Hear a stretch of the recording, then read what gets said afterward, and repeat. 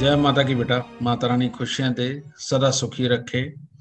सबकी मनोकामना पूर्ण करे दाता, और आपको झोली भर भर के ज्ञान बख्शे दाता, ताकि आप भी अपने जीवन में नाम, यश, सुख, दौलत सब कमा सके। आज से जो चीज़ हम शुरू करने जा रहे हैं, ये प्योर और प्योर लाल किताब का ज्योतिष होगा। शुरुआत में हम जितना भी सीखेंगे, वो सारे का सारा बेस जो है, वो लाल किताब से ही लिया गया है।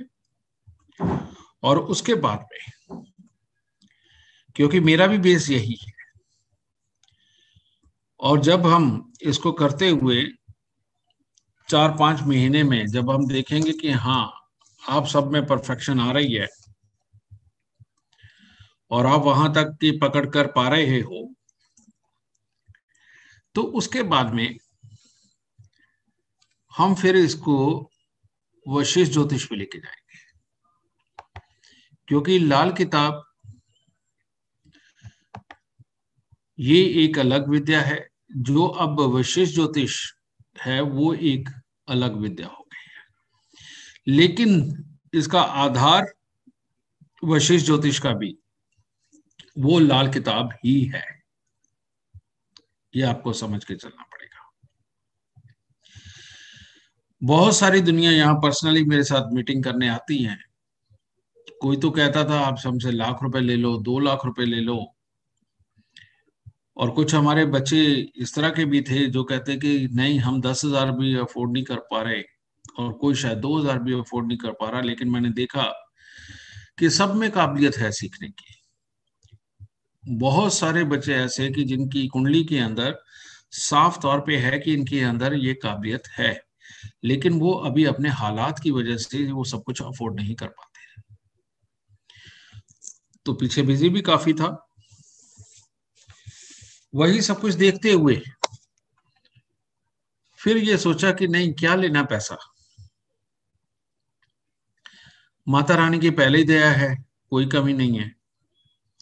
और ये तो वैसे भी ज्ञान की बात है जिससे जग के अंदर बहुतों के दुख हरे जाएँगे, बहुतों का कल्याण होगा। तो ये कल्याणकारी विद्या क्यों ना सबको फ्री में दे दी जाए? क्योंकि जितना कल्याण करने वाले लोग होंगे,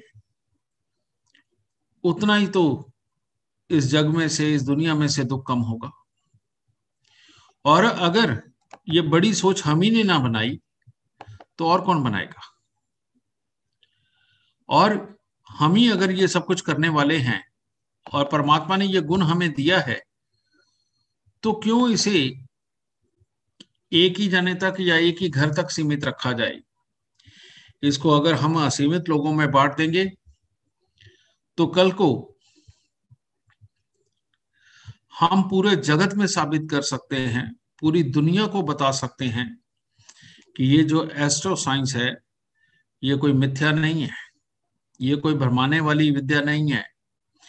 ये जो कहते हैं, बहुत सारी ज़्यादातर दुनिया एक ही बात बोलती है और बहुत सारे हमारे एस्ट्रोलॉजर भी बोलते हैं कि ये तो सिर्फ़ एक अंदाज़ा मिल जाता है कि जीवन कहाँ जाएगा। बिल्कुल गलत बात है बेटा। इससे अंदाज़ा नहीं मिलता। इसके साथ से इस साइंस के ज़रिए हम एक इंसान के पल पल को जाँच सक सके जान सकते हैं, उसकी नेचर को जाँच सकते हैं, उसके जीवन में कब क्या घटित होना है, ये जान सकते हैं। उसकी नेचर क्या रहेगी, उसकी मानसिकता क्या रहेगी कि जिससे कि वह अपने जीवन के अंदर सुख या दुख इकट्ठा करेगा। हर इंसान के अंदर की वो कमी जिसके कारण की वो दुख ही दुख पाता है, वो सारी चीज़ों को बड़ी आसानी से जांचा जा सकता है। और जो सबसे बड़ी बात है, हमें रिश्ते नहीं समझ आ पाते। क्यों मियाँ बीवी लड़ते हैं, क्यों भाई बहन लड़ते हैं, क्यों बच्चों के साथ विचार नहीं मिलते? क्यों बीमारियाँ आती हैं? ये हमें समझ नहीं आ पाता आम आम इंसान को। और जब समझ नहीं आ पाता तो हम हताश होते हैं, निराश होते हैं। उस हताशा और निराशा के बीच में लड़ाइयाँ होती हैं। डिफरेंसेस ऑफ़ ओपिनियन होते हैं, जिसके कारण फिर हमें जब कुछ नहीं समझ आता तो एक ही बात समझ आती कि इसको इतनी सी बात समझ नहीं आती क्या? और वहाँ से डिफरेंसेस शुरू होते हैं। तो रियलिटी में जो भी इस विद्या को जानकार हो जाता है उसको सामने वाले की मानसिकता समझ आ जाती है उसके सो, सोचने का तरीका उसका चाहने का तरीका किसी भी काम को करने का तरीका उसका जब समझ आने लगता है तो इंसान सामने वाले को बच्चे की तरह माफ़ करने लगता है। और सामने वाला बेशक अपने से बड़ा हो, लेकिन उसको माफ़ करने की अपने अंदर जो प्रवृत्ति आती है, वो बच्चा समझ के माफ़ करने की प्रवृत्ति अपने अंदर आने लगती है। जिसके चलते सबसे पहले तो अपना जीवन आसान होता है, हमें गुस्सा नहीं आता। और उसके बाद में फिर दिल करता है कि नहीं इसको वाकई में ये प्रॉब्लम है, ये यहीं तक समझता है, यहीं तक करता है। और फिर दिल करता कि नहीं, इसकी भी मदद कर दी जाए क्योंकि इसके कारण इसके जीवन में इतनी सारी खराबियाँ आनी है। तो अब जब इतनी सारी बातों को एक एस्ट्रोलॉजर समझ सकता है और समझ के जब चलता है तो बेटा जीवन आसान नहीं, बहुत बहुत बहुत आसान होता चला जाता है ना? और हम यही चाहते हैं कि सबका जीवन आसान हो, सब लोग अपने जीवन में सुखी बसें, खुशियाँ पाएँ, अपने परिवार को चलाने की क्षमता हो सब में, और ज़िंदगी के अंदर ना फाइनेंशियली दुख हो और ना बीमारियों के दुख लाल किताब की सबसे बड़ी खासियत एक ही रही है, बेटा। मैंने कई बार आप सबको बताया भी, आप में से कुछ बहुत सारे पुराने लोग होंगे, कि लाल किताब बीमारियों के ऊपर ज़्यादा काम करती है। बीमारी क्यों आती है? किन ग्रहों की वजह से आती है? कौन सी दृश्यों की वजह से आती है? कौन से कॉम्बिनेशन की वजह से आती है? और उसको ठीक कैसे किया जा सकता है? तो सबसे बड़ा काम तो ये बीमारी पे करती है।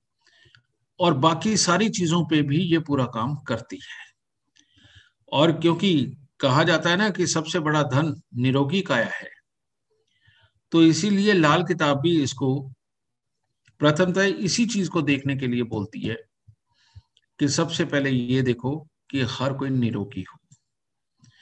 और क्योंकि स्वस्थ एक इंसान की बुद्धि भी स्वस्थ होती है, उसको समझाना आसान होता है और उसको चलाना आसान होता है तो इसीलिए लाल किताब भी बोलती है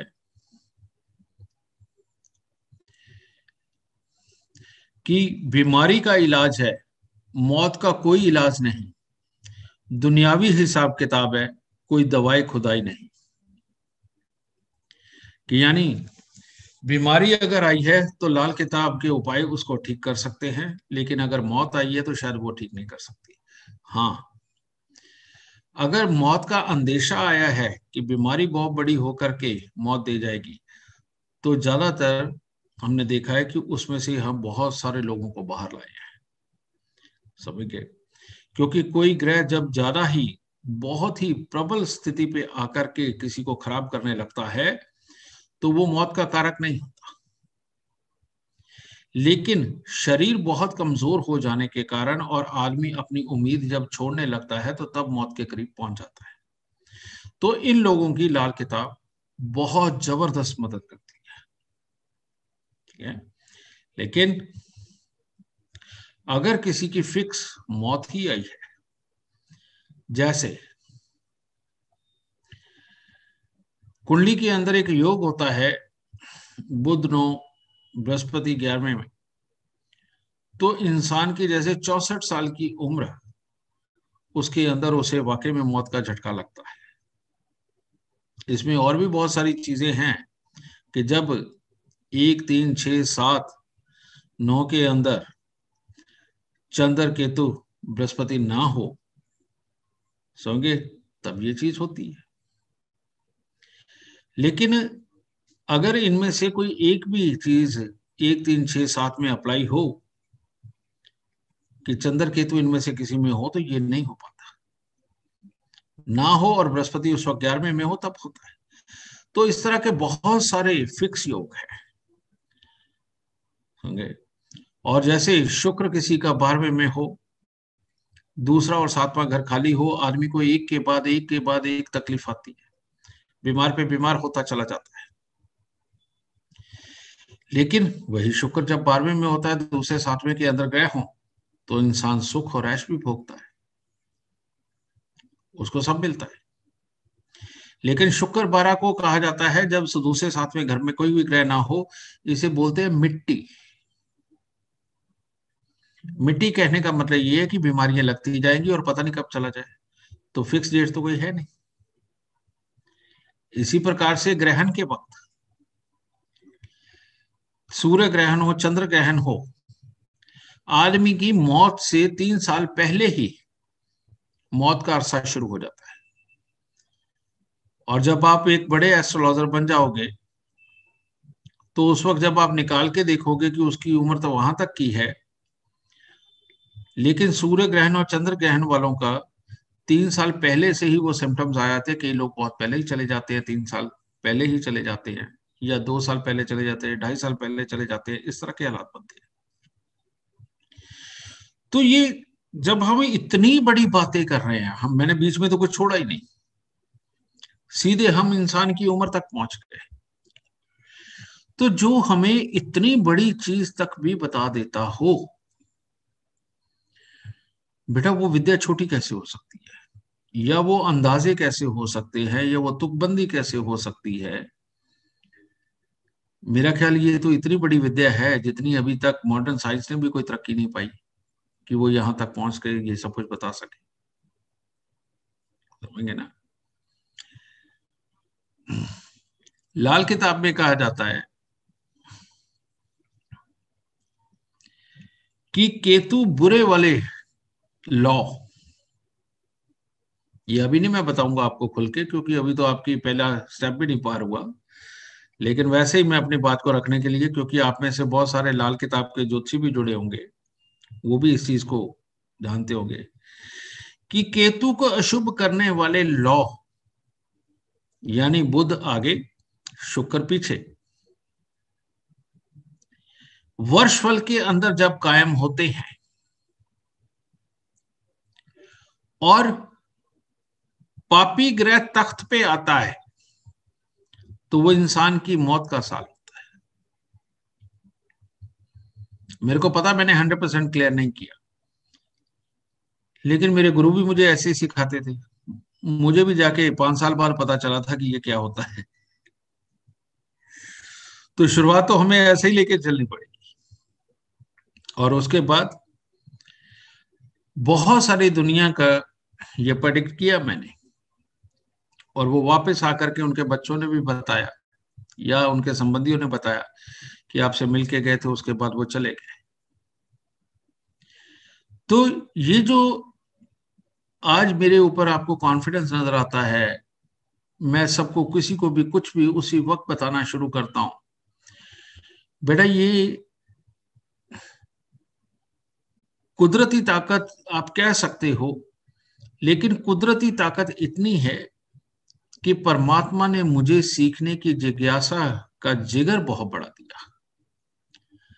और जिसके चलते हुए दिन रात इसके अंदर लग करके और एक छोटी छोटी चीज़ को भी एब्जॉर्व करके किताब में लिखा हुआ, सामने भुगता हुआ और सामने दिखने वाला, इसको बहुत ही बारीकी के साथ जब इसको तोला मैंने तो तब किताब के लिखे हुए शब्दों के अलावा भी शब्द मैं दूसरे को बताने के काबिल बना। हर एक एस्ट्रोलॉजर को एक अच्छा साइकोलॉजिस्ट होना चाहिए। हर एस्ट्रोलॉजर को एक साइंटिस्ट होना चाहिए। हर एक एस्ट्रोलॉजर को दिल का अच्छा और साफ़ होना चाहिए। हर एक एस्ट्रोलॉजर को दूसरों की भावनाओं का कदर करने वाला होना चाहिए। और जो सबसे बड़ी बात, एक अच्छा एस्ट्रोलॉजर एक अच्छा लिसनर होना चाहिए, सुनने वाला होना चाहिए। और जो भी, ये इतनी सारी जो मैंने खूबियाँ बताई हैं इसमें से जितनी खूबियाँ कम होंगी, वो उतना ही छोटा एस्ट्रोलॉजर होगा। और जिसमें ये सारी खूबियाँ होंगी, वो उतना ही बड़ा एस्ट्रोलॉजर होगा। तो इसीलिए आज आप मुझे सुन रहे हैं, लेकिन कल आपको एक अनजान सा कोई आदमी, जिसे आप जानते भी नहीं पहले, उसका पहरावा भी ज़्यादा अच्छा नहीं है। अगर वो कोई एस्ट्रोलॉजी की बात करे तो आप उसे भी कम से कम पाँच, सात, दस मिनट, पंद्रह मिनट तक बोलने का मौका दे ताकि आप तोल सके कि वाकई में उसके पास में एक अच्छा ज्ञान है क्या। और यह सुनने की क्षमता और जल्दी इरिटेट ना होने के गुण इंसान की झोली को भर के मालो माल कर देता है इंसान को। इसीलिए जब भी अपने जीवन में ही बना अपने भाई बहन अपने माँ बाप अपने पड़ोसी, अपने रिश्तेदार, कि जो भी कोई बोल रहा होगा ना, तब आप इरिटेट नहीं होगे। और ये वाली जो एक्सरसाइज है आपकी, ये आपको बहुत बड़ा मुकाम दिला सकती है। कारण क्या है? जब हम सोना भी खोजने जाते हैं ना बेटा तो खुदाई चलती रहती है। हीरा खोदने जाते हैं तो भी खुदाई चलती रहती है। बहुत सारी मिट्टी या बहुत सारे कोयले हटाने के बाद सोना या हीरा प्राप्त होता है। इसी प्रकार से इस दुनिया के अंदर रहते हुए, दुनिया से सीखने वाला जो काम है, वो तभी आप दुनियादारी पूरी समझ पाओगे जब आप दुनिया को रोज ज़्यादा सुनोगे। और ना कि बोल बोल के अपनी काबिलियत बताओगे। तो इसीलिए जो सुनने वाला होता है, वो भरा हुआ होता है, भारी होता है, क्योंकि उसके अंदर ज्ञान बहुत होता है। और जो बोलने वाला होता है तो वो कहावत आ जाती है, खोखला चना, बाजे घना। यानी कि ज्ञान से विहीन है, लेकिन बोल के साबित करना चाहता है कि मैं ज्ञानवान ठीक है? तो इसलिए खोखला चना बिल्कुल नहीं बनना। हमें तो भारी भरकम सोना बनना है। भारी भरकम। और अगर भारी भरकम हम सोना बनेंगे और सोना बनके हम तपेंगे, मेहनत करेंगे तो बेटा हम कुंदन भी बन जाएँगे। और कुंदन बनने के बाद फिर अगर कोई ज़्यादा तपा दो तो फिर तो राखी होती है बेटा तो कुंदन बनने तक की मेहनत ज़रूर करना। ठीक है? और ये एक बार बन गए तो बस फिर। फिर जिस चीज़ के लिए आज आप पहली बार आए हैं, वो सपना आपका उस दिन सच हो जाएगा। और आप स्वयं बहुत अच्छी अच्छी प्रोडिक्शनें करके लोगों के जीवन को आप सार्थक बनाने चल पड़ेंगे और लोगों को सुख देने के आप काबिल बन जाएँगे। ये कितनी बड़ी विद्या है। इसी बात से आप अंदाज़ा लगा लीजिए कि छोटे होते हुए मैं जिनके पाँव हाथ लगाया करता था, आज वो मुझे देखते ही मेरे पाँव हाथ लगा देते हैं। वो मेरे नहीं लगाते। वो जो विद्या मेरे पास है वो उसको नतमस्तक करते हैं। उसके आगे अपना माथा झुकाते हैं। क्योंकि ये जितनी विद्या है, इसकी ज़रूरत उनको भी पड़ती है। और समय समय पर जब वो इसकी भी एडवाइस लेते हैं, उपाय करते हैं, जब वो ठीक होके आते हैं तो उनको बहुत अच्छा लगता है। और वो एक सवाल बड़ा प्यारा किया करते हैं। और जिसके लिए ये मैं फ्री सेशन बनाने के लिए मजबूर हो गया। और वो क्या एक सवाल करते हैं, कहते गुरु जी आपके पास, हमारे पास तो आप हो, और जिनके पास आप नहीं हो, उनका जीवन कैसा होगा? कहते दुख सुख तो हम भी झेल के आए हैं। इधर आप बताते हो तो दुख भी मिट जाते हैं। उपाय करते ही। कहते लेकिन जिनके पास आप नहीं हो वो? तो ये चीज़ मुझे भी सोचने पे मजबूर करती है। कि दुनिया में किस प्रकार का ज्योतिष होता है बेटा। आप सबको मुझे बताने की ज़रूरत नहीं है, आप सब इसके जानकार हैं। आप सब जानते हैं कि किस प्रकार का ज्योतिष होता है। लेकिन एक परफेक्शन वाले ज्योतिष तक पहुँचना बहुत ज़रूरी है। हम हर बार जब भी मिलेंगे, दो सेशन करेंगे। एक सेशन वो जो ज्योतिष का प्रारंभिक विज्ञान होगा। प्रारंभिक विज्ञान, यानी कि ग्रहों की जानकारी। कौन से घर के अंदर ये उच्च होते हैं, कौन से नीच होते हैं, यहाँ से शुरुआत करके धीरे धीरे हम आगे बढ़ेंगे। ये तो एक सेशन लेकिन उसके बीच में हम दूसरा सेशन भी रखेंगे कि जो लोग ये प्रारंभिक ज्योतिष विज्ञान जानते हैं, लाल किताब के बेस को जानते हैं, लेकिन उसके आगे बढ़ रहे हैं, उनको आगे की नॉलेज चाहिए तो हम उसके ऊपर भी बात करेंगे ज़रूर, ताकि यहाँ आने वाला कोई भी खाली हाथ ना जाए। उसको और अच्छा और अच्छा और अच्छा मिले। क्योंकि कोई भी दसवीं क्लास पढ़ने के बाद वापस पांचवी में एडमिशन नहीं लेता। और थोड़े अगर स्टेप आप पार कर चुके हो तो आपको पीछे का विज्ञान सीखने में कोई इंटरेस्ट नहीं रहेगा। ये भी बात सत्य है। लेकिन जो नए आए हैं, उनके लिए अब हम स्टार्ट करते हैं।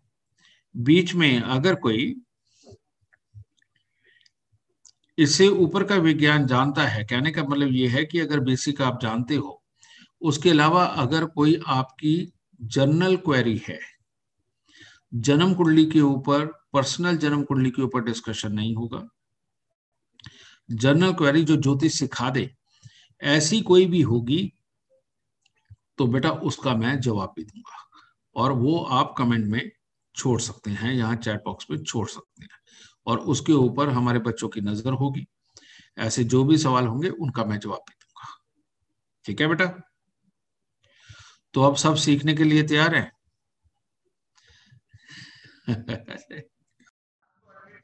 सबसे पहले लगन कुंडली दिखाओ, प्रारंभिक विज्ञान की। जी गुरु जी बिल्कुल।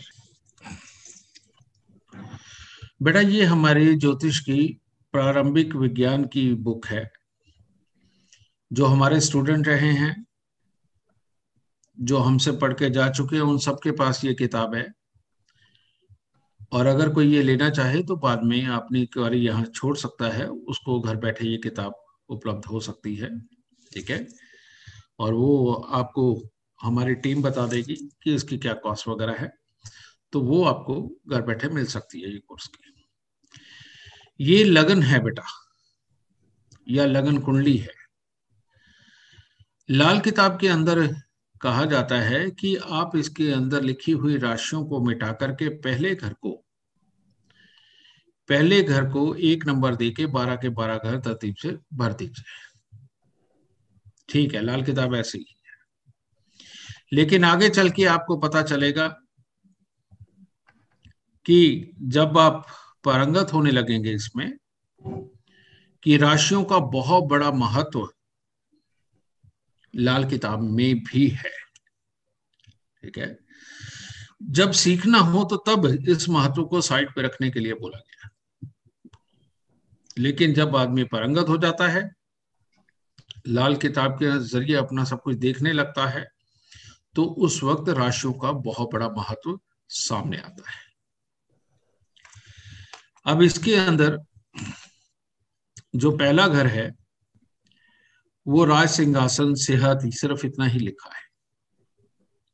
लेकिन सच्चाई क्या है? इंसान का स्वभाव बेशक पाँचवें घर से देखा जाता है, लेकिन लगन से भी बहुत हद तक स्वभाव मैच करता है। इसके अंदर जो भी ग्रह बैठता है, जो भी ग्रह इसके अंदर बैठता है, उसकी मानसिकता इंसान के मस्तिष्क में बहुत ज़्यादा बड़ी घर कर जाती है। और वो जो भी ग्रह हो, शुभ या अशुभ ग्रह बैठा हुआ हो, उसके अनुसार उसकी सोच बड़ी बनने लगती है। यहाँ शुभ बैठा हो तो ये राज सिंहासन है। और यहाँ अशुभ बैठा हो तो ये सेहत की खराबी का ज़रिया बनता है। यहाँ शुभ ग्रह बैठा हुआ हो तो स्वास्थ्य अच्छा के साथ राज सिंहासन देता है। और यहाँ बुरा ग्रह बैठा हो और उस बुरे ग्रह से संबंधित काम भी हो तो खराब सेहत के साथ उस ग्रह का खराब काम देकर के उसको राज सिंहासन पर बैठाता है। तो यही कारण है कि बहुत सारी दुनिया बीमार होती है, बुरे काम कर रही होती है, लेकिन पैसा भी कमा रही होती है। तो पहले घर का बहुत बड़ा रोल है हमारे जीवन के अंदर के सुख और दुख को पाने के लिए, वाहन के सुख पाने के लिए, अपना प्रभाव दुनिया में जमाने के लिए। इसी प्रकार से दूसरा घर। इसमें लिखा है, ससुराल, धन, पैतृक, संपत्ति धर्म स्थान अब ये जैसे लाल किताब में लिखा हम वैसे आपको दे रहे हैं। लेकिन अपने एक्सपीरियंस से अगर आप देखते हैं तो ससुराल के सुख और अपने कुंबे के सुख दूसरे घर से ही देखे जाते हैं। जितनी भी नगद माया बहुत सारी दुनिया ऐसी होती है बेटा जिनके घर में नगद पैसे बहुत पड़े होते हैं बैंकों में इतने पैसे नहीं होते। कई लोगों को लाखों करोड़ों रुपए इकट्ठे कर, कर, करके रखने का शौक होता है। जिनका भी दूसरे घर के अंदर शुभ ग्रह होते हैं अच्छे ग्रह बैठे हुए हों, उनके घर पे नकदी बहुत मिलती है। और वो नकदी आदमी को, ऐसे को आदत भी होती है, जिसके शुभ ग्रह बैठे हों दूसरे घर के अंदर। एक तो वो बोलने में बड़ा मीठा और अच्छा होता है। बोलबानी भी इसी घर से देखी जाती है। तो बोलने में अच्छा होता है, पैसा अपनी जेब में रखने का, अपने एंट्री में रखने का, अपने घर पे रखने का आदि होता है। ये भी इससे देखा जाता है दूसरे घर से। पैतृक संपत्ति दूसरे घर से ज़रूर मिलती है, लेकिन अगर भाग्य स्थान यानी कि पूर्वजों वाले घर के अंदर भी कोई ना कोई शुभ ग्रह हो तो पैतृक संपत्ति प्राप्त होती है। फिर तीसरा घर, इज़्ज़त, मान प्रतिष्ठा, छोटे भाई बहन पराक्रम तथा सेहत। अब यहाँ पर क्या होता है? इन घरों के अंदर जब कोई शुभ ग्रह बैठते हैं तो आदमी इज़्ज़त कहाँ पाता है? विदेश में जाके या घर से दूर जाकर। पराक्रम कहाँ दिखाता है? घर से दूर जाकर। ज़्यादातर फौजियों की कुंडली के अंदर आप तीसरे घर के अंदर मंगल देखेंगे। ज़्यादातर फौजियों की कुंडली के अंदर आप तीसरे घर के अंदर मंगल को पाएँगे।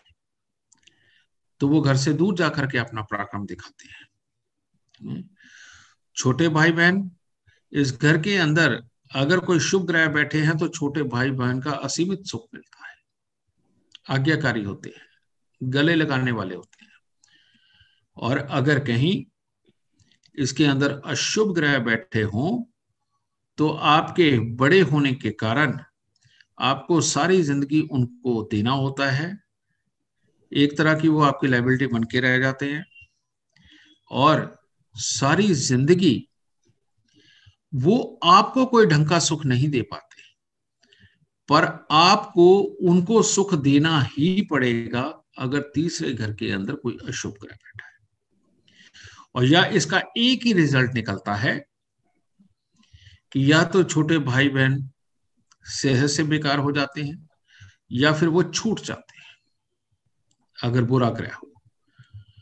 और अगर यहाँ अच्छा ग्रह बैठा हो तो अपने सगा कोई छोटा भाई बहन हो या ना हो, उसके बावजूद भी दुनियादारी में से आपको छोटे भाई बहन मिलते हैं और वो आपको बहुत सुख देते हैं, आपका बहुत साथ देते हैं।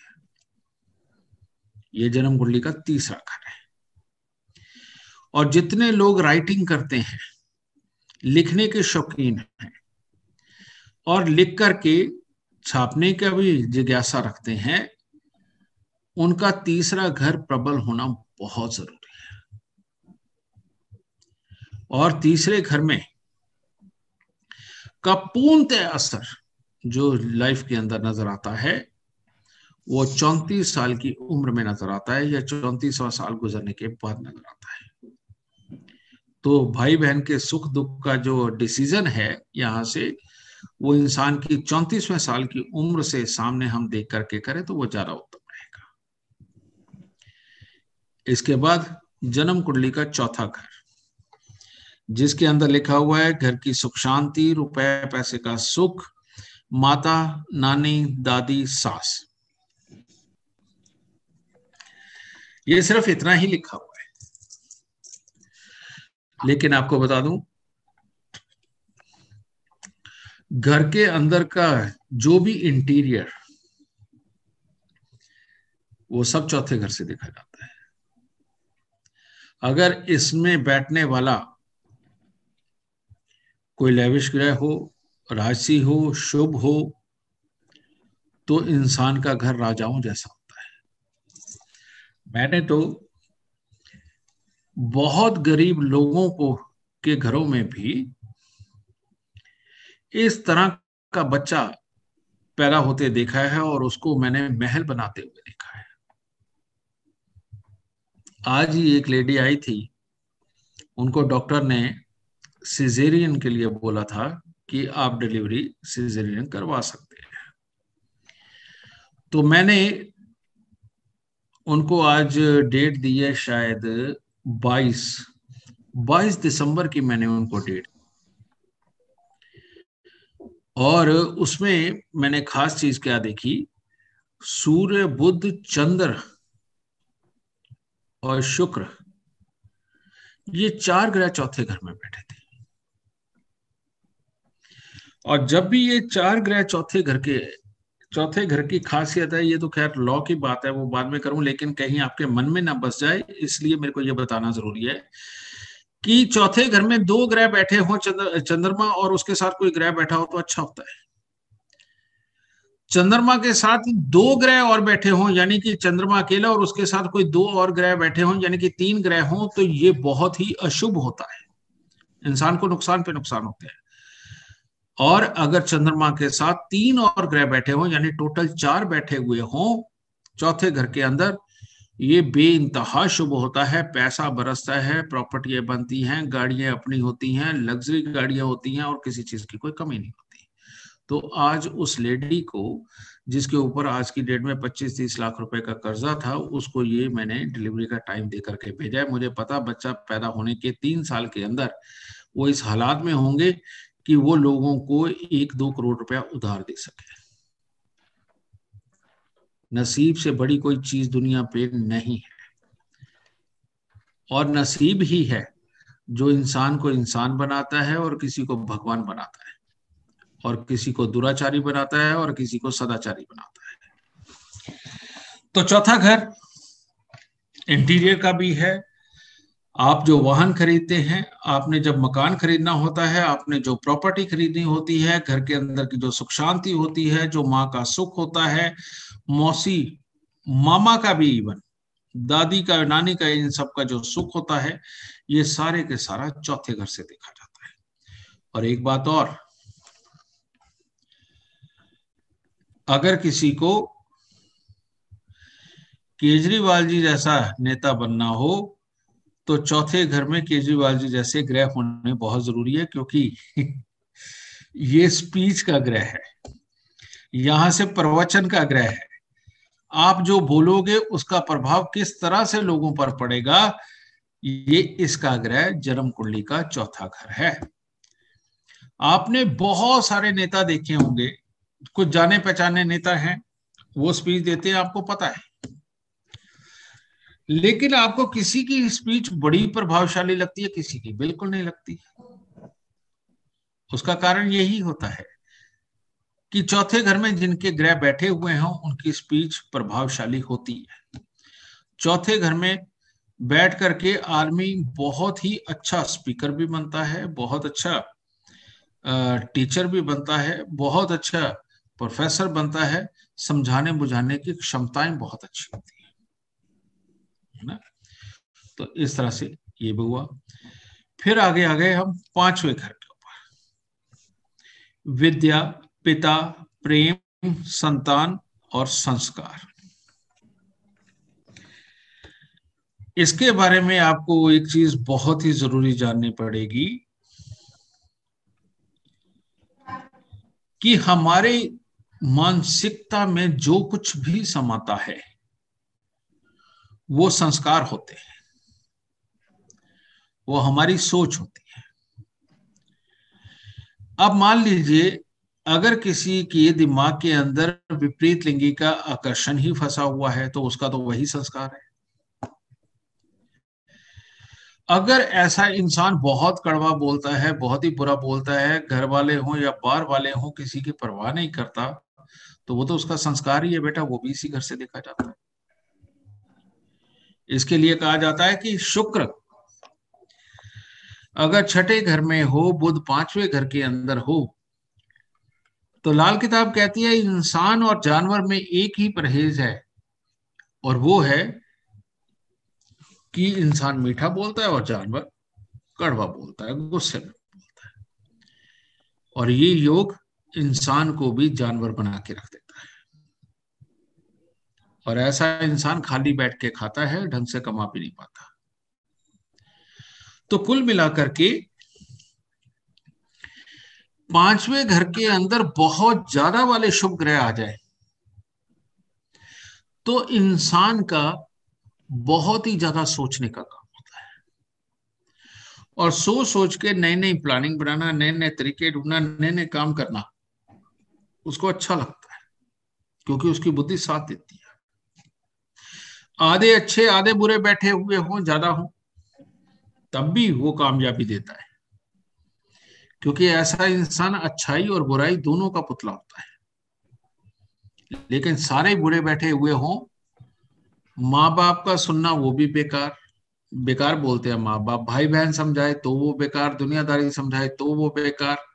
दुनियादारी में काम करने जाए, हर जगह से नौकरी छोड़ के आ जाएँगे। नौकरी छूटने का घर भी जन्म कुंडली का पांचवा घर है। जिस वर्ष के अंदर लाल किताब के अनुसार जिसकी दशा, अंतरदशा चल रही है, यानी कि मान लो बृहस्पति में बृहस्पति चल रहा है, बृहस्पति के अंदर में केतु चल रहा है, इनमें से जो भी कोई ग्रह पाँचवें घर में वर्षफल के अनुसार आ जाएगा तो उस समय के अंदर वो नौकरी छुड़वा सकता है, अगर इंसान की लगी है तो। तो नौकरी छूटने का घर जन्म कुंडली का पांचवा घर है।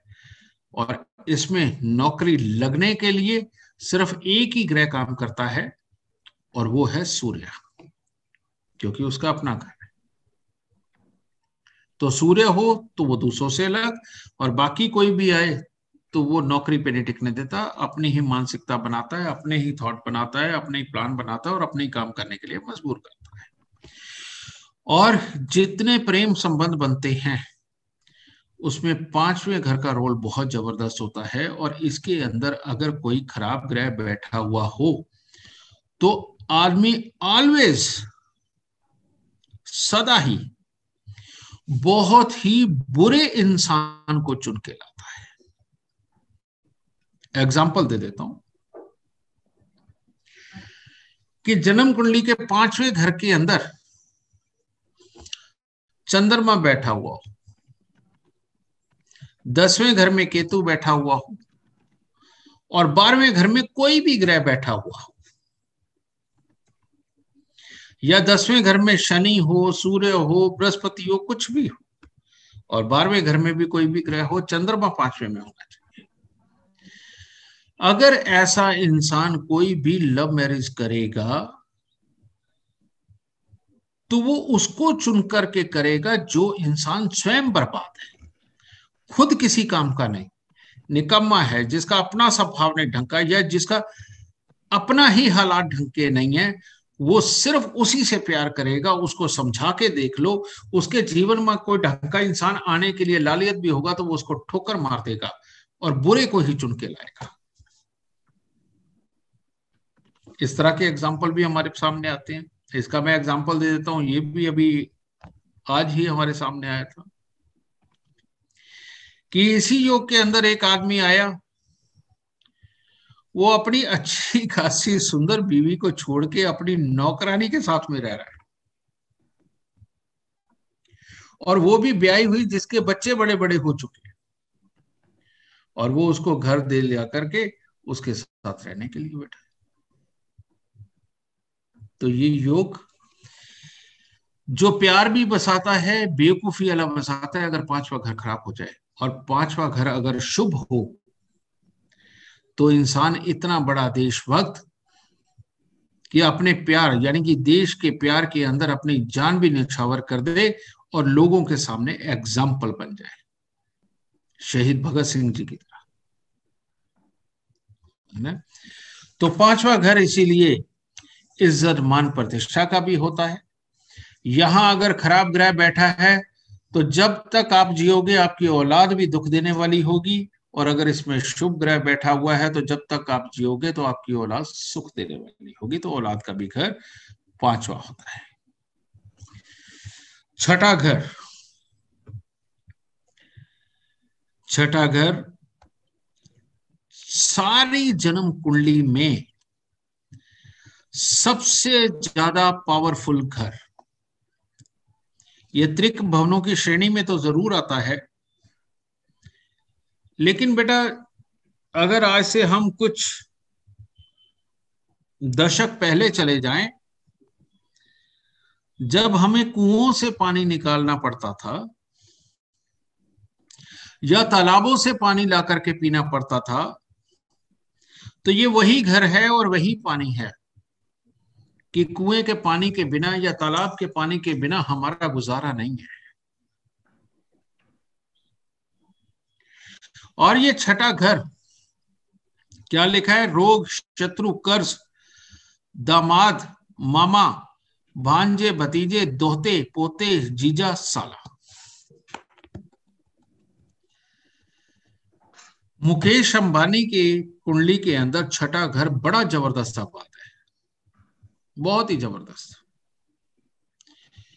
तो आप देख लीजिए, उसके बहुएँ हों, उसके पुत्र हों, उसका कर्जा हो, सब बड़ा है, सब बहुत अच्छा है। और कर्ज भी छठे घर से होता है। और जिसके छठे घर आबाद हो, वो नौकरी में अव्वल होता है, टॉप होता है। और जो अपना काम भी करते हैं छठा घर आबाद होने में।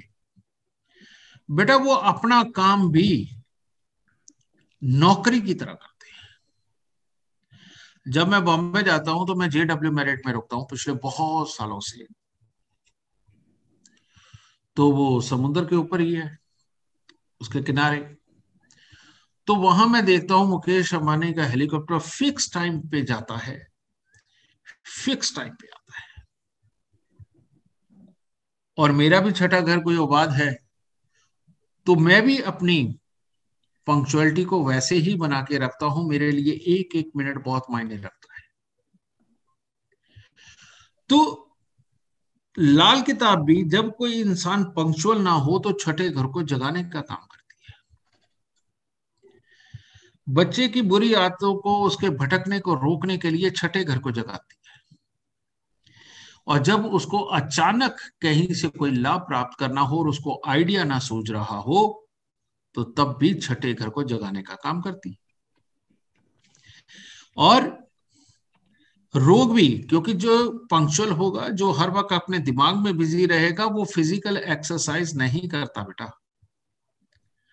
और जब आप फिजिकली एक्सरसाइज नहीं करोगे, सिर्फ़ मेंटली एक्सरसाइज करोगे तो उस वक्त में रोग उत्पन्न होते हैं। तो इसीलिए छठा घर रोग का भी है। समझ? और जब भी अपने दोते, जीजा, साला, ये जब भी सामने आते हैं तो आदमी सोच में पड़ जाता है कि इनकी इज़्ज़त क्या है, इनको कहाँ रखना है, कैसे लेकर के चलना है। इसीलिए भी छठा घर इन सब रिश्तों को दिया गया है। और ये छठा घर जिसका आबाद हो और शुभ ग्रहों से आबाद हो तो बेटा, वो इंसान गरीब के घर में भी पैदा होगा तो बहुत अमीर होगा। मैं तो यहाँ तक मेरा मानना है कि अगर मुकेश अंबानी, श्री धीरू भाई अंबानी जी के घर पे पैदा ना हुए होते तो शायद धीरू भाई अंबानी रिलायंस इंडस्ट्री के मालिक ना बन पाते। तो ये बेटे का भाग मैं इसको मानता हूँ। और शायद यही रीजन है कि अनिल अंबानी ने काम किया तो वो फेल हुआ, लेकिन मुकेश अंबानी जिस भी काम को अपने हाथ में लेते हैं, वो पार जाता है। क्योंकि पास और फेलियर हमारे दिमाग में से पैदा होता है। तो दिमाग के अंदर चलने वाली सूक्ष्म तरंगे किसी भी आइडिया को प्रबल रूप में बना करके उसको इंप्लीमेंट करने की जो ताकत है, वो जन्म कुंडली के छठे घर में से उत्पन्न होती है। किसी भी चीज़ को गुप्त रखना सीआईडी करना, जाँच पड़ताल करना, किसी भी आदमी को सीक्रेट सर्विसेज़ जैसे गुण देना, ये बेटा छठे घर का काम है और किसी घर का काम ठीक है तो छठा घर बहुत बहुत अहम माना जाता है। इसको सिर्फ़ और सिर्फ़ बीमारी के साथ जोड़ करके देखना बहुत बड़ी मूर्खता है। संपन्न और सोचने वाला इंसान बीमार ही होता है, बस इस तरह से सोच के चलने से ठीक है? ये देख सातवां घर, व्यवसाय या रोज़गार की स्थिति, पत्नी, गृहस्थी जीवन साथी ये सब। बिल्कुल ठीक।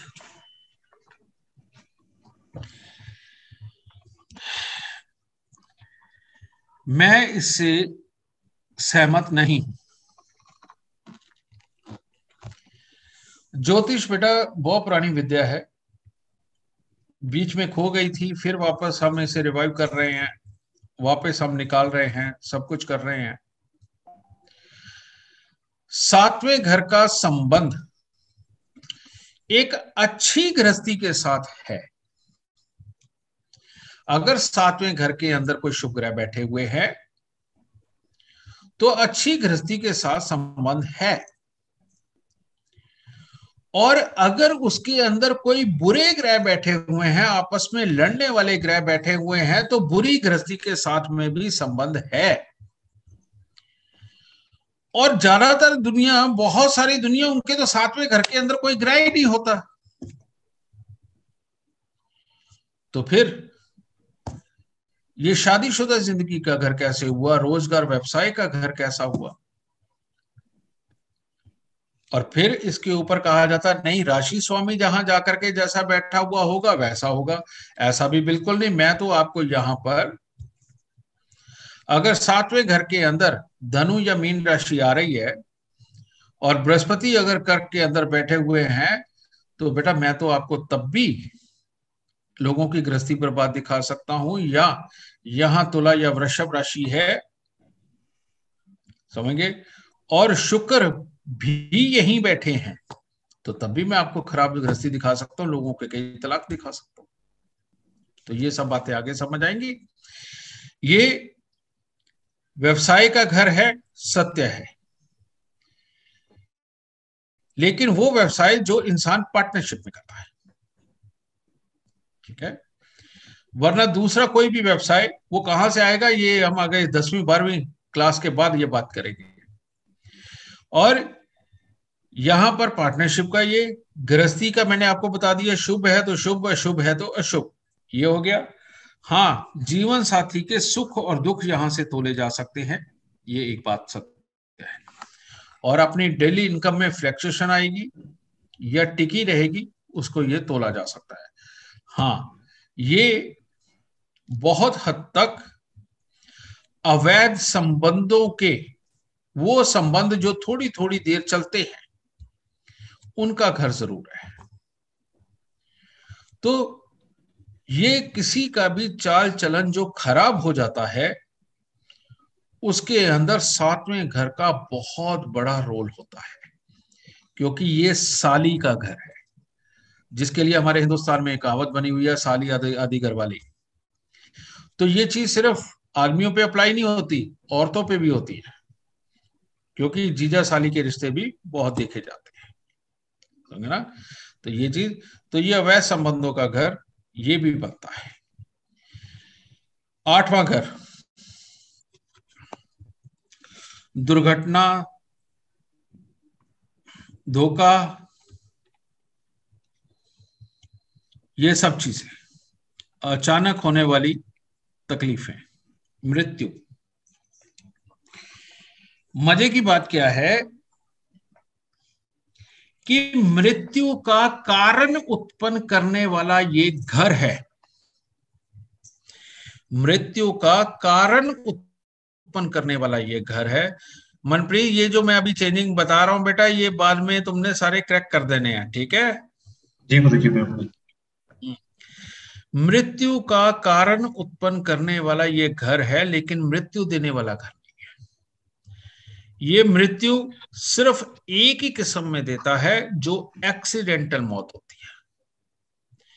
लेकिन इसके बाद भी मृत्यु के हज़ारों कारण बनते हैं। तो उस कारण की जो उत्पत्ति का कारण है, वो यहाँ से उत्पन्न होता है लेकिन मृत्यु दूसरे ग्रह देते हैं, दूसरे घर देते हैं। और जब आपको एस्ट्रोलॉजर बन जाओगे, तब पता चलेगा कि चौथा, दूसरा, सातवां घर, जिसको हम बहुत बड़ा मानते हैं अच्छा मानते हैं एक्चुअली में मृत्यु वही देते हैं। ठीक है? तो ये हो गया। लेकिन एक और बात बताता हूँ। जो लोग अचानक अमीर हो जाते हैं, जिनको अचानक बहुत धन संपदा मिलती है, अचानक ही रातों रात उनकी ऐप चल जाती है, अचानक ही उनको कोई रिश्तेदार मर जाता है, उनका धन संपत्ति मिल जाती है अचानक ही राह चलते उनको कुछ मिल जाता है या गड़ा हुआ धन ही मिल जाता है या लॉटरी निकल आती है, वो जन्म कुंडली का आठवां घर ही दिलवाता है। आठवां घर, इसकी शुभता और अशुभता को तय करना सबसे टफ टास्क है। सबसे टफ। और इसके बारे में आगे हम बहुत डिटेल से बात करेंगे, शायद एक दिन हमारा पूरा एक घर के खूबी बताने समझाने में ही गुजर जाए, ऐसा भी समय आएगा। तो आठवां घर ये हुआ, और आठवां घर बहुत ही गहराई की बुद्धि, दुनिया को देखने में बेवकूफ़ लगे, लेकिन कामयाबी का स्तर बहुत ऊँचा, ये भी आठवां घर ही देता है। नौवा घर नौवा घर भाग्य स्थान बड़ी चर्चाएँ हम सुना करते थे जब छोटे थे कि भाग्य प्रबल होना चाहिए, भाग्य प्रबल होना चाहिए। मैं तो कह रहा हूँ किसी का भाग्य चलो प्रबल हो, अच्छी बात है, पर ना हो तो ज़्यादा अच्छा है। ये मैं शब्द क्यों बोल रहा हूँ? भाग्य स्थान प्रबल होने का मतलब माँ बाप के द्वारा दिए हुए सुखों की वजह से औलाद का बिगड़ जाना, नकारा हो जाना। और माँ बाप ही इतना सक्षम आदमी को रहन सहन दे दे कि जिसके कारण बच्चे को कोई तकलीफ़ ही ना महसूस हो। तो बेटा ये नौवा घर हुआ। अगर शुभ है तो। और अगर कहीं नौवा घर बिल्कुल खराब हो, बर्बाद हो, खराब ग्रह आकर के बैठ जाए माता पिता के जीवन की बखियाँ उधर जाती हैं। उनके जीवन में इतनी तकलीफें होती हैं, ना भाई बहन के ढंग से सुख, ना सुखों के वैसे सुख, ना उनको दुनियादारी से सपोर्ट मिल पाती है, ना उनका भाग्य चल पाता है, ना उनका कर्म चल पाता है। एक छोटा सा एग्जांपल दे देता हूँ, बहुत सारे लोगों के काम आएगा कि अगर बृहस्पति पहले घरों में और केतु बाद में घरों में हो और चंद्रमा नौवे घर के अंदर बैठा हुआ हो, उनके माता पिता को बहुत तकलीफें झेलनी पड़ती हैं। रुपए, पैसे प्रॉपर्टी घर की सुख शांति की वजह से। अगर मान लीजिए बुद्ध आगे शुक्र पीछे हो और केतु नौवे घर के अंदर बैठा हुआ हो तो पिता को अपने भाइयों का सहारा मिल नहीं पाता, ज़िंदगी के अंदर इतनी फ्लैक्चुएशन होती है, इतनी जगह से भाग दौड़ करनी पड़ती है और फिर भी कामयाबी नहीं मिलती और टेंशनों पर टेंशनें होती हैं, ये नौवा घर। लेकिन इसी के अंदर लॉ वाइज लाल किताब के लॉ वाइज अगर कोई शुभ ग्रह आकर के बैठ जाए तो बेटा भाग्य इतना बढ़ता है, इतना बढ़ता है कि माँ बाप की तरफ़ से इतना कुछ होकर के मिल जाता है कि बच्चे को शायद सारी ज़िंदगी काम ना करना पड़े। तो इसीलिए भाग्य अच्छा हो, अच्छी बात है। लेकिन जिनका भाग्य अच्छा हो, उनको शुरुआती दौर के अंदर बहुत मेहनत करवाने की एडवाइस आपको देना जब आप एस्ट्रोलॉजर बन जाएँगे, ये बहुत ज़रूरी होगा, वरना ये बच्चे बहुत देर से सीखते हैं। लेकिन जब सीखते हैं तो कुदरती तौर पे दाता इनके बुद्धि भी ऐसी देता है कि जो ये पासा डालते सीधा पड़ ही जाता है।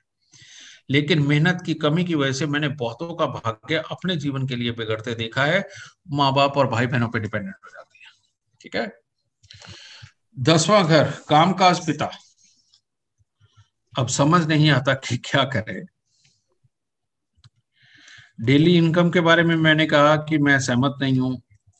और यहाँ कामकाज। कामकाज में ये कह सकता हूँ कि जो बैठ करके करने वाली दुकानदारी या बैठ के करने वाली नौकरी या राजनीति, ये सब कुछ दसवें घर से देखा जाता है।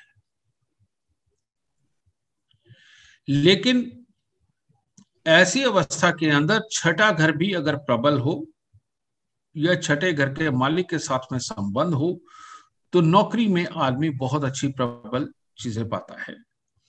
लेकिन दसवां घर सारे काम काजों के लिए नहीं है। तो इसीलिए जो जो छी भाई इससे सारा काम काज देखते हैं, वो बिल्कुल और बिल्कुल गलत है। ठीक है? राजनीति देखिए, पिता का घर देखिए, पिता के घर के अंदर के हालात देखिए, मिल जाएँगे। काम किस प्रकार, किस नेचर से करना चाहिए, वो यहाँ से देखिए। पर काम काज उस ग्रह से अकॉर्डिंग होगा, बिल्कुल नहीं, ऐसा बिल्कुल नहीं है।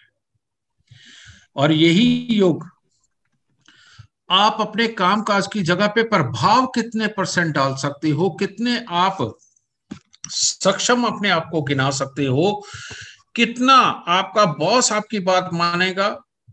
आपसे बड़े लोग आपकी कितनी बात मानेंगे? आपसे छोटे लोग आपकी कितनी बात मानेंगे? ये अगर देखना हो तो ये जन्म कुंडली के दसवें घर से देखा जाता है। ठीक है? और आप कितने प्रबल तरीके से काम करने वाले हो, ये इससे देखा जाता है। और ग्यारहवा घर, बड़े भाई बहन हमारे दादा इनके लिए ये है और लाभ का भी लिखा है। ठीक है, मानते हैं कि ये लाभ का ग्रह हो सकता है। लेकिन ये घर रियलिटी में हमारे बच्चों की पैदाइश से संबंधित घर है। आप भी कहेंगे, गुरुजी क्या बोल रहे हैं? पांचवा घर बच्चों का होता है, ये तो हम मानते हैं। लेकिन बच्चों की पैदाइश से संबंधित जो घर है, वो ग्यारहवा घर है। कि आपके यहाँ बच्चा आसानी से पैदा हो भी जाएगा कि नहीं? ये बीमारी का घर है। और हर तरह की बीमारियों की लगभग जो शुरुआत है यहीं से आती है। इस घर का बहुत बड़ा रोल है बीमारियों को देखने के लिए। और ग्यारहवें और चौथे घर के कॉम्बिनेशन में अगर बहुत शुभ ग्रह बैठे हुए हों, तब ये लाभ का स्थान है। वरना ये पूरा लाभ का स्थान नहीं है। हम्म। लाभ बिना चौथे घर के ग्यारहवा घर कुछ भी हो, सब बेकार है। तो इधर से ये हुआ। हाँ। अगर कोई आध्यात्मिक प्रबलताएँ देखनी हो और पहाड़ों के सुख देखने हो तो हम ग्यारहवें घर को देख सकते हैं। पहाड़ों पर बसने वाले धार्मिक स्थल देखने हुए हो तो ग्यारहवा घर देख सकते हैं। और बहुत सारी दुनिया के आपने बहुत सारे ग्रह ग्यारहवें घर में बैठे हुए देखे होंगे, लेकिन वो इंसान दुखी का दुखी ही आपको मिला होगा और वो तो दुखी छोड़िए, उसकी औलाद भी ढंग से नहीं कर, कामयाब हो पा रही होगी। बेटा, ग्यारहवा घर तो इतने खराब हालात भी देता है तो इसको लाभ का कैसे मान सकते हैं? ठीक है? और बारवा घर बारवा घर खर्चे का है, मोक्ष का है, सबसे ज़्यादा कर्ज का घर यही है। ऐसा कर्ज जो ना उतरने वाला, जिसके लिए बहुत प्रयास करने के बावजूद भी, उतारने के बाद भी फिर कर्जा लेना पड़े, वो बारवा घर है। और मियाँ बीबी के रिश्ते के अंदर या जीवन साथी के अलावा कहीं और संबंधों के अंदर अपनी सेहत को खर्च करते चले जाने का स्थान भी यही है। और शौक, शौकों के ऊपर खर्च करने का घर भी यही है। और दिखावे की ज़िंदगी जीने के लिए, अगर दूसरे घर में भी अशुभ ग्रह बैठे हुए हों, शुक्र के दुश्मन, और शुक्र के ही दुश्मन बारहवें घर के अंदर बैठे हुए हों तो आदमी बहुत बड़ा दिखावेबाज हो जाता है या बहुत बड़ा गुस्सेबाज हो जाता है। ठीक है? तो दोनों ही स्थितियों के अंदर खराबी उत्पन्न होती है। और बारहवें घर के अंदर अगर आपस में दुश्मन ग्रह बैठ जाए तो बेटा जीवन के अंदर जब बीमारियाँ शुरू होती हैं तो फिर ठीक होने का नाम नहीं लेती, जब तक कि उनको लाल किताब के उपायों से निकाल ना दिया जाए। ठीक है? और यहाँ आकर के एक यहाँ अगर खराब ग्रह इस घर में और साथ ही दूसरे घर में भी हो तो बेटा जीवन के अंदर बहुत तकलीफें देता है। ठीक है? जैसे चंद्र दो, केतु बारह, आपस में दुश्मन है। तो ऐसे इंसान के लिए कहा जाता है, भाई, या तो तेरे को पढ़ाई ज़्यादा मिलेगी और या तेरे को पुत्र का सुख मिलेगा। अब ज़्यादा पढ़ाई लेनी है तो पुत्र नहीं मिलेगा। और पुत्र चाहिए तो ज़्यादा पढ़ाई नहीं मिलेगी। तो दूसरे और बारहवें का बहुत बड़ा संबंध है, जो आगे चल के हम बात करेंगे, क्योंकि अभी ये पहला स्थान है। ये मैंने आज बारह घरों की व्याख्या, जो लिखी जाती किताबों में, वो आपको सामने दिखाई, और जो मैं समझता हूँ, वो आपको मैंने सामने बताई। उम्मीद है आप सबने लिखा भी होगा। और यहाँ पर मनप्रीत आपको बाद में गाइड करेंगे कि अगर मान लो किसी से कोई चूक गया है या कुछ है तो वो कहाँ से कैसे प्राप्त कर सकते हैं। मनप्रीत आपको वो भी गाइड करेंगे। ठीक है? तो इस प्रकार से ये यहाँ हुआ। पहले आज इन घरों को समझना बेइंतहा ज़रूरी था। इनको समझे बिना कि ये चीज़ ये घर किस किस का है? अगर हम मान लो ग्रह की बात भी करते हैं कि कौन से घर के अंदर कौन सा शुभ है, कौन सा शुभ है, कौन सा उच्च है, कौन सा नीच है तो वो अगर मैं बताने लगता तो आपके दिमाग के अंदर बिल्कुल भूचाल सा मचता कि इसका मतलब क्या इसका मतलब क्या लेकिन अब जब हम आपको आगे शुभ और अशुभ ऊंच और नीच ग्रह बताएँगे इन घरों के अंदर तो आपको साथ में ये भी आप कंपेयर करके देख सकते हैं कि यहाँ ये शुभ हुआ। तो किस किस चीज़ की बढ़ोतरी देगा? और अशुभ हुआ तो कौन कौन सी चीज़ में कमी देगा? अगर यहाँ नीच हुआ तो कौन सी चीज़ को बिल्कुल बेकार करने वाला है? अगर उच्च हुआ तो कौन सी चीज़ भर के देने वाला है? तो इतना आसान आपके लिए ये होने वाला है, जो आज आपको बताया इसके बाद। ठीक है? तो अब मनप्रीत जी गुरु एक बेटा यहाँ पर ये चीज़ छोड़ दो कि कौन सा ग्रह कौन से घर के अंदर उच्च का होता है कौन से घर के अंदर नीच का होता है? कौन सा घर किसका है? समझ गए? ये जो चार चार्ट है बेटा ये इन सब के लिए शेयरिंग पे लगा दो ताकि ये लोग अपने अपने लिख भी ले डाउनलोड कर लें। ठीक है। तो ये करके आप अभी एक हफ़्ते तक यानी कि अगले संडे तक आप इन सबको समझिए देखिए जानिए आप इसको जुबानी याद करिए ताकि ताकि अगली बार जब हम बात करने लगे तो आपको बहुत ही आसानी से बहुत ज़्यादा चीज़ें समझ आने लगे। ठीक है? जब मैं क्वेश्चन करूँ कि नीच का कहाँ होता है तो आप में से ही कोई जवाब देगा। और जब मैं कहूँ उच्च का कहाँ होता है तो आप में से ही कोई जवाब देगा। क्योंकि साथ के साथ हमारे सवाल जो भी चलेंगे, हमारी बातें भी होंगी, ताकि हमारा समय भी बहुत अच्छा पास हो। और हँसते खेलते हम इस ज्योतिष को सीखे। पर सीरियस मोड में ठीक है ना? मनप्रीत अब देखना जरा किसी का कोई सवाल तो नहीं बेटा? थोड़ी देर हम वो भी देख ले। जी गुरु जी सवाल है मैंने कुछ लिखे हुए हैं। सबसे पहला गुरु सवाल है जो आपने शुक्र वाला लॉ पहले बताया था। हाँ हाँ। उसके, उसके अंदर एक इनका नाम नहीं है लेकिन रेडमी नोट इनके फ़ोन का मॉडल है। कि अगर बुद्ध और शुक्र दोनों एक साथ बैठे हो तो उस कंडीशन में क्या होगा? ये तो बेटा प्राइमरी क्लास के अंदर ट्वेल्थ का सवाल पूछ लिया।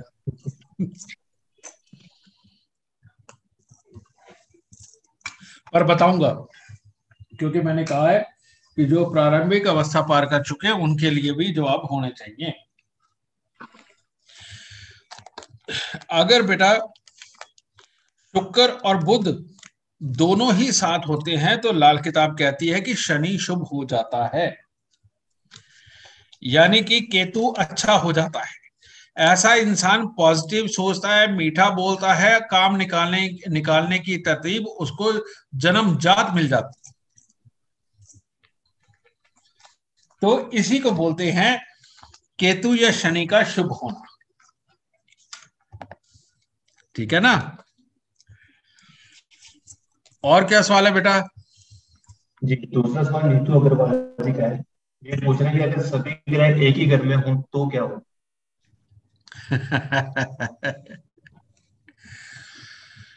हाँ बेटा आठ ग्रह तक एक घर में हो सकते हैं।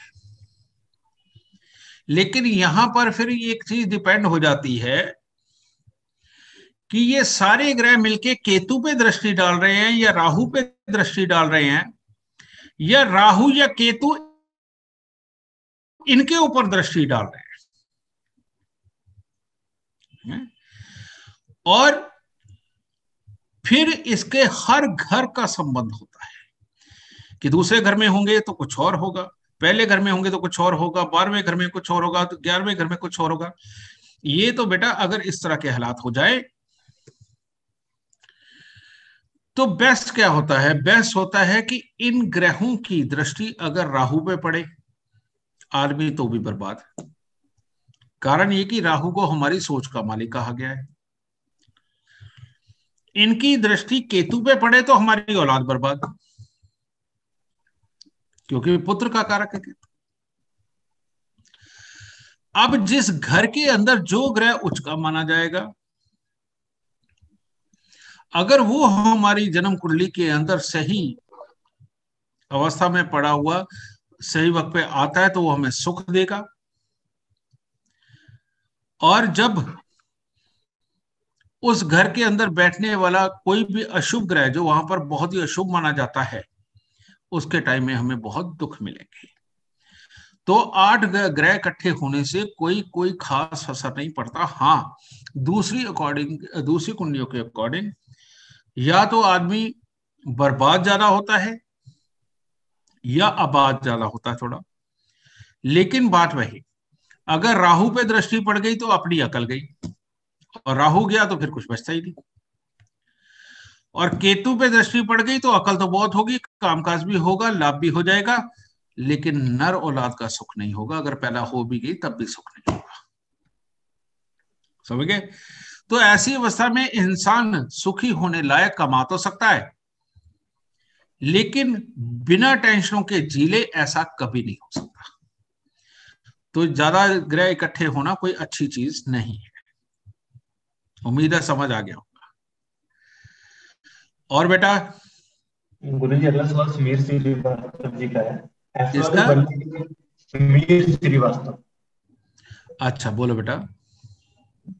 एस्ट्रोलॉजर बनने के लिए कौन सा योग अच्छा होता है? ये तो बेटा जब तुम एस्ट्रोलॉजर बन जाओगे तभी पता चलेगा। क्योंकि कोई एक योग नहीं है एस्ट्रोलॉजर बनने का। एस्ट्रोलॉजी के लिए सूर्य का उच्च होना बहुत ज़रूरी है। एस्ट्रोलॉजर बनने के लिए बुद्ध का काम से संबंध होना बहुत ज़रूरी है। अच्छा एस्ट्रोलॉजर बनने के लिए शनि की रिसर्च बहुत ज़रूरी है। और बहुत अच्छा एस्ट्रोलॉजर बनने के लिए केतु का बहुत शुभ होना या बहुत ही शुभ घर में बैठना, शुभ हो या ना हो, या शुभ घर में बैठा हुआ हो, बहुत ज़रूरी है। और भोलेनाथ की पूरी कृपा रहे और हर चीज़ टिप्स पे हो, इसके लिए चंद्रमा का भी बहुत अच्छे घर में होना बेहद ज़रूरी और एस्ट्रोलॉजी से पूरी तरह से कमाई हो, इसके लिए जन्म कुंडली के अंदर मंगल का शुभ होना बहुत ज़रूरी है। और बुरी एस्ट्रोलॉजी अगर कर रहे हो तो शुक्र और राहु का खराब होना ज़रूरी है। और अच्छी एस्ट्रोलॉजी कर रहे हो तो ऐसे में बृहस्पति का शुभ होना बहुत ज़रूरी है। मैंने सारे ग्रह गिनवा दिए, लेकिन बृहस्पति नहीं बोला जिसके कारक ज्ञान माना जाता है। क्योंकि बृहस्पति हवा है। अब जब धुआँ निकलता है तो हवा धुएँ वाली हो जाती है। और वही बागान में चलती है तो खुशबू वाली हो जाती है। अगर फलों वाले बाग में चलती है तो फलों की खुशबू लेके चलती है, फूलों वाली बाग में चलती है तो फूलों की खुशबू लेके चलती है। बृहस्पति का अपना नेचर हवा है। वो जिसके साथ मिलता है, उसका फल देने लगता है तो इसीलिए बृहस्पति अकेला एस्ट्रोलॉजर नहीं बनाता है। ये बृहस्पति गुरु बना सकता है। किसी भी फ़ील्ड का गुरु बना सकता है, लेकिन वो फ़ील्ड दूसरे ग्रह डिसाइड करती है। इसीलिए सूर्य बुद्ध पहले घर में हो तो लाल किताब के अंदर लिखा जाता है, बहुत ही उत्तम ज्योतिषी सूर्य तीसरे घर के अंदर हो, आदमी ज्योतिषी। सूर्य दूसरे घर के अंदर हो, आदमी ज्योतिषी। और सूर्य पाँचवें में, नौवे में हो तो भी आदमी ज्योतिषी चंद्रमा सातवें में हो तो भी ज्योतिषी और चौथे घर में अच्छे, शुभ मित्र ग्रह बैठे हो, आदमी शौकिया बहुत अच्छा ज्योतिषी और शनि दसवें घर में हो, आदमी ज़बरदस्ती ज्योतिषी बनने की कोशिश करता है, लेकिन ढंग से बन नहीं पाता। तो मेरा ख्याल काफ़ी मैंने बता दिए। बाकी और बहुत सारे योग है बेटा। जो इंसान को ज्योतिषी बनाते हैं इसीलिए ज्योतिष की तरफ़ की जिज्ञासा दुनिया के अंदर मैक्सिमम लोगों को है जो ज्योतिष के बारे में जानते हैं वो इस विद्या में जाना चाहते हैं। तो आगे आगे हम उसको भी क्लैरिफाई करेंगे। और कुछ? जी गुरु जी एक आगे क्वेश्चन और है। हाँ। दर्पण जी का। क्या चीज़? दर्पण कुंद्रा जी का ये प्रश्न है। हाँ हाँ। हाँ गुरु क्वेश्चन ये है कि बुध पहले घर में हो हाँ। और शुक्र बारहवें घर में हो। ठीक है। तो इनमें से कौन सा ग्रह पहले बैठा हुआ माना जाएगा? तो बुध पहले बार माना जाएगा ना बेटा? जी गुरु वो इनका क्वेश्चन था बेटा लाल किताब की जब बात आएगी तो एक से छह घर को पहले घर कहा गया है। और सात से बारह को बाद के घर कहा गया है। लाल किताब की जब बात आएगी तो एक से छह घरों को पहले घर बोला गया है और सात से बारह को बाद के घर बोला गया है। लेकिन अगर सात से बारह में हो या एक से छह में हो, मान लीजिए बुध अगर दूसरे में बैठा है और शुक्र चौथे में जाकर के बैठा है तो इसमें हम मानेंगे कि बुध पहले घर, अपने से पहले में बैठा हुआ है। अपने से पहले बैठा हुआ और अगर मान लो शुक्र चार में हो, बुध पाँच में हो तो हम काउंट करेंगे कि बुध बाद में बैठा हुआ है, शुक्र पहले बैठा हुआ है। और अगर ग्रहों की बात करें तो जो हम पहले घरों की बात करें, जैसे मैंने एग्ज़ाम्पल दिया कि पहले घरों में बृहस्पति हो, केतु बाद के घरों में हो तो चंद्रमा शुभ होता है तो ऐसे में एक से छह के अंदर बृहस्पति हो, सात से बारह के अंदर अगर केतु हो तो चंद्रमा शुभ। ठीक है? तो ये इसका पूरा जवाब है बेटा। और कोई जवाब बेटा? और कोई सवाल?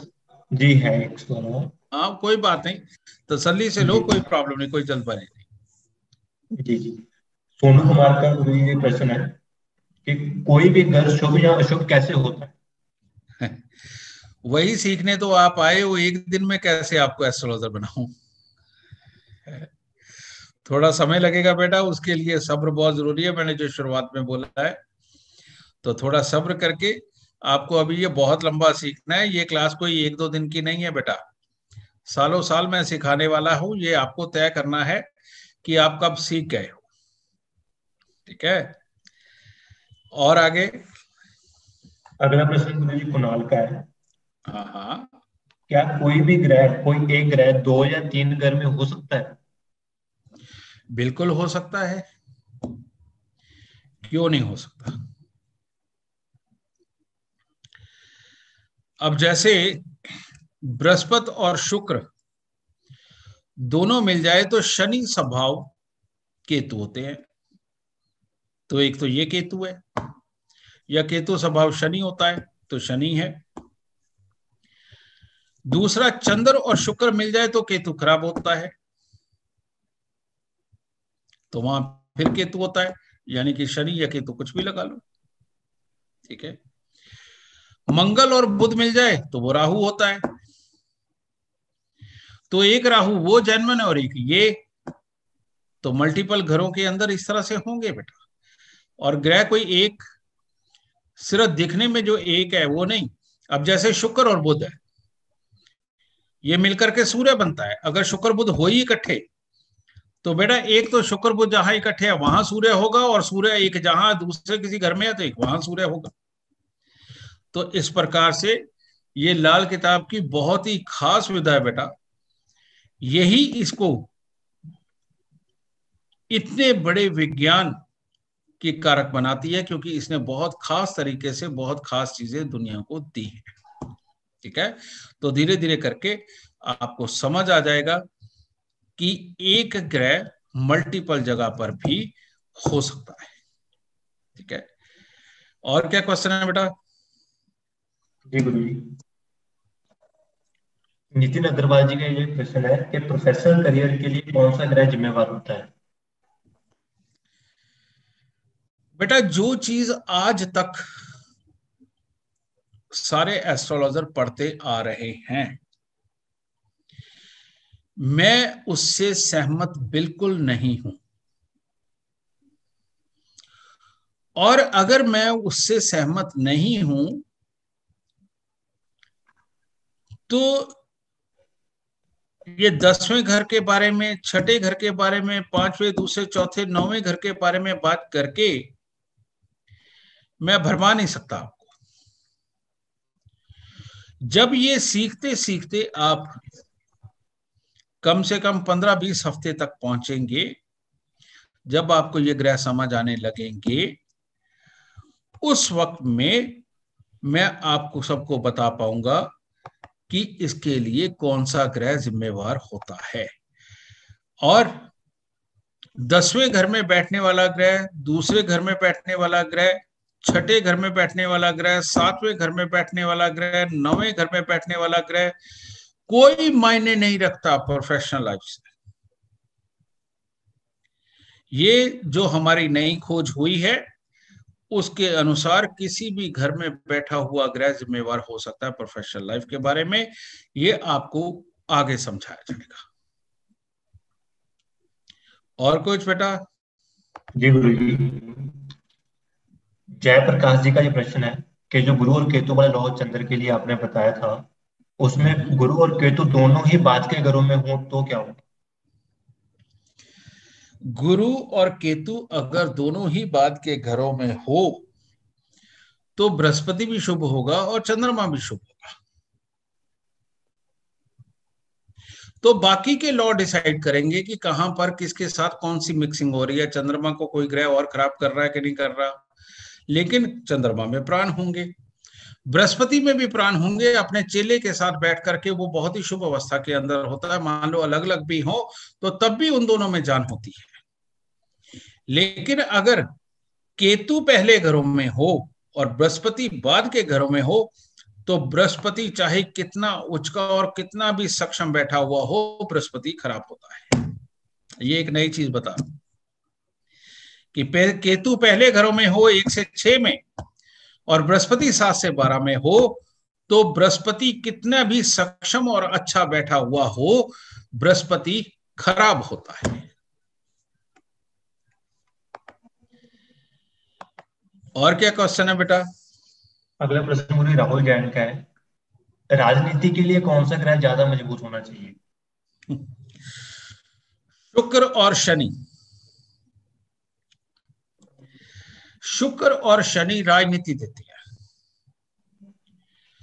तो राजनीति में तो बेटा कामयाब लोग भी है और छुटभैये भी है। एक वो जो हर नेताओं के पीछे पीछे चक्कर काटता रहता है और बाहर निकलते ही अपना बड़ा बड़ा बखान करता है, लेकिन ज़िंदगी में कभी ढंग का नेता नहीं बन पाता।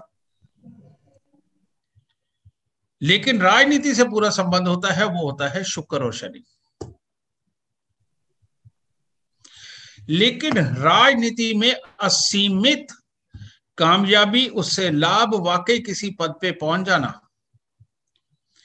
इसके लिए सूर्य और मंगल देखे जाते हैं। और अगर सूर्य और मंगल अपनी स्थितियों के अनुसार प्रबल नहीं होंगे, अच्छे नहीं होंगे तो इंसान कामयाब नेता कभी नहीं बन सकता, क्योंकि सरकार और सरकार चलाने का दायित्व सूर्य के पास है। और सूर्य की करनी का लाभ देने का दायित्व मंगल के पास है। तो इन चार ग्रहों को देखे बिना राजनीति कभी भी डिसाइड नहीं की जा सकती। और बेटा? गुरु जी आखिरी प्रश्न है क्षिति शर्मा का। ये कह रहे हैं कि इन्होंने थोड़ा सा लेट ज्वाइन किया था तो जो बुद्ध शुक्र और केतु वाला वो पूरा लॉ क्या है इनको वो जानना बेटा उनके टाइम पे ना अटेंड होने की सजा हम नहीं पाएँगे। जी। ठीक है? तो इसीलिए इस तरह के आधे अधूरे क्वेश्चन नहीं चलेंगे। काम के इसकी जगह किसी और का क्वेश्चन ले ठीक है गुरु ये ये लास्ट है। हम्म। कि अगर कोई भी ग्रह शुभ हो तो उसका दान क्यों किया जाए?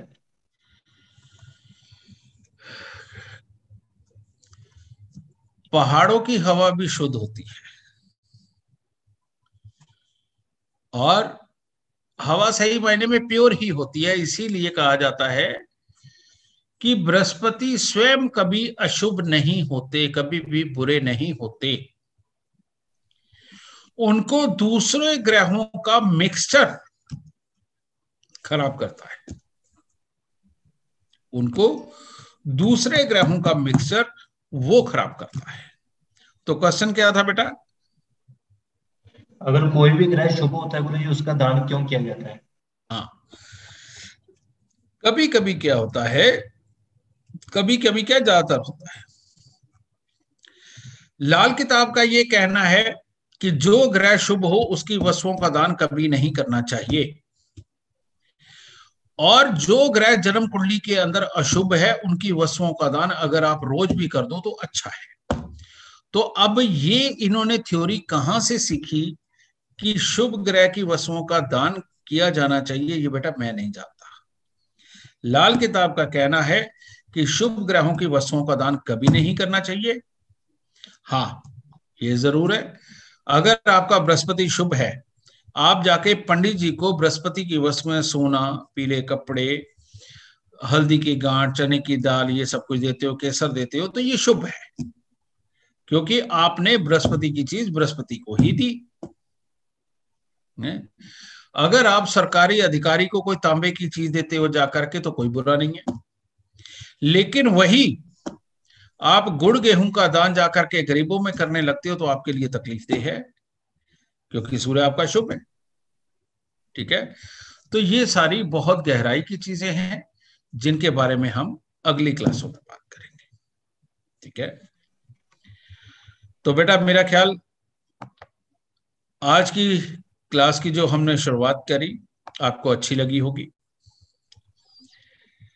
और इसी प्रकार से जैसे जैसे हम आगे बढ़ेंगे, ये और बहुत बहुत बहुत इंटरेस्टेड होती चली जाएगी, क्योंकि ये इतना गहन, ये विज्ञान है कि इसकी जैसे जैसे आप गहराई में उतरेंगे वैसे वैसे आप अपने आप को स्वस्थ और इंजॉयफुल महसूस करेंगे। और सीखने की इच्छा प्रबल होगी, और जानने की इच्छा प्रबल होगी। लेकिन शुरुआती की क्लासे हमेशा बोरिंग ही होती हैं। आगे आगे दिल लगने लगता है, जब आदमी काबिल बनने लगता है। तो माता रानी, बाकी जो भी जानकारी है आप आप यहाँ क्वेरी बॉक्स में छोड़ सकते हैं हमारे मनप्रीत और बाकी की सारी टीम आप सब लोगों के टच में रहेगी। किसी तरह की भी जरूरतें हो, कुछ चाहिए हो, वो भी हमारे मनप्रीत और उनकी टीम ये सब देखती रहेंगी। ठीक है? और हम हर रविवार चार से छह में इकट्ठे होंगे। इस ज्ञान वर्षा के अंदर आप सब लोग आओ, इसमें नहाओ अपना जीवन पार करो और अपनों का जीवन पार करो। इस तरह की मेरी ये ख्वाहिश है कि सबके दुख दूर हो। और आप सबको पता ही होगा कि हमने एस्ट्रो साइंस अपनी ऐप पर एस्ट्रोलॉजरों के लिए एक पैकेज बनाया है और जो उन्नीस सौ निन्यानवे रुपए का है। वो तीन महीने के लिए वैलिड है। और तीन महीने के लिए आप उसमें से अनगिनत कुंडलियाँ निकाल सकते हो, जिसके ऊपर हमारे कंपनी का ना कोई लोगो होगा, ना कोई नाम होगा। आप अपने नाम से भी प्रिंट करके लोगों को वो दे सकते हैं, क्योंकि वहाँ पर जो कुंडली रिपोर्ट वाला सेक्शन है, उसको दबाते ही प्रोफ़ाइल के ऊपर पीडीएफ डाउनलोड हो जाती है। और उसके साथ आप अपना नाम जोड़ के आप अपने रिश्तेदारों को, अपने क्लाइंटों को सबको दे सकते हैं। और तीन महीने के सिर्फ़ उन्नीस सौ निन्यानवे रुपए उसमें हमने रखे हैं, वो इसलिए रखे हैं ताकि ज़्यादा से ज़्यादा लोग अच्छी प्रडिक्शन कर सकें, अच्छे उपाय दे सके, लोगों के सुख दुख को अच्छा तोल सकें, कहीं से कोई भ्रमित वाली हालात ना रहें और हर किसी को अच्छा स्टीक ज्योतिष मिले और वो उससे सुख पाए। ठीक है? तो अगर आप चाहते हैं कि लोगों का भी कल्याण हो बहुत सारे लोग शौकिया तौर पे फ्री में लोगों को जन्म कुंडली बांटते हैं तो उनके लिए ये अमृतमय है तो बेटा वो एस्ट्रो साइंस ऐप पर डाउनलोड करके अनगिनत प्रोफ़ाइल उसके ऊपर डाल सकते हैं और बीस हज़ार कुंडली अगर निकालने की आपकी क्षमता हो तो तीन महीने के अंदर आप वो भी निकाल सकते हैं। ठीक है? तो चलिए, अगले हफ़्ते चार से छह में फिर मिलते हैं। और इससे आगे की बातें करते हैं। मनप्रीत आज आपको बाकी के कौन कौन से ग्रह कहाँ उच्च कौन से नीच होते हैं? कौन सा किसका ग्रह है? कहाँ पर अशुभ है? ये सारा चार्ट आपको यहाँ अवेलेबल करवाएँगे और अगले हफ़्ते तक आप याद करके आएँगे ताकि हम कुछ सवाल जवाब भी कर सकें। जय माता की। माता रानी खुशियाँ दे सुख दे तंदुरुस्तियाँ बख्शे और कामयाबियाँ दे दाता सुखी रहो। जय माता जय माता जय माता जी, जैसे कि गुरु ने आपको कुछ चार्ट के लिए बोला था, ये आपकी स्क्रीन के ऊपर सबसे पहले दिख रहा है। कुंडली के बारह घरों के मालिक और कारक ग्रह आप इसका स्क्रीनशॉट ले लीजिए। इसके बाद जो दूसरा चार्ट है, कि कुंडली में कौन सा ग्रह किस घर के अंदर उच्च का माना जाता है? और जो तीसरा चार्ट कुंडली में कौन सा ग्रह कहाँ पे नीच का माना जाता है? आज की सेशन में अपना कीमती समय देने के लिए धन्यवाद। अब अगले हफ़्ते हम एक नए टॉपिक के साथ और आपकी सेशन की क्वेरीज के साथ फिर से मुलाकात करेंगे। तब तक के लिए आप सबका धन्यवाद।